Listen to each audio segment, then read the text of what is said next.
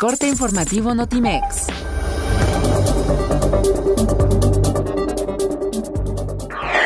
En conferencia de prensa conjunta ofrecida en Palacio Nacional, el presidente Enrique Peña Nieto destacó que para México es relevante incrementar el nivel de comercio con Alemania y afirmó que el intercambio comercial es un motor de desarrollo para ambos países.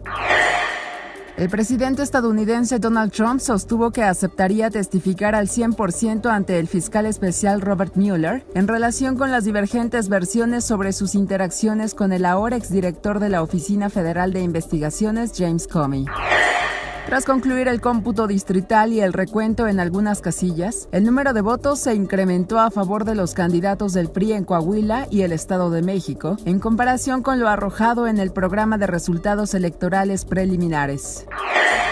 El Tribunal Superior Electoral de Brasil absolvió al presidente Michel Temer de las acusaciones de uso de dinero ilícito en un juicio que amenazaba con provocar su caída. Este año la producción de automóviles en México ascenderá a 3.6 millones de unidades, lo que representa casi 200 mil vehículos más que en 2016, informó la Asociación Mexicana de la Industria Automotriz.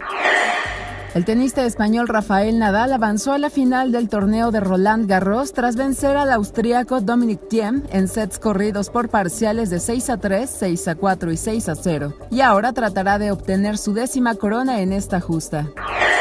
La exposición Picasso y Rivera, Conversaciones a través del tiempo, el festejo por los 40 años de la compañía de danza folclórica de Villahermosa, el concierto del violinista ruso Maxim Benjerov y la temporada del Microteatro México, destacan en la cartelera cultural de este fin de semana en la capital mexicana.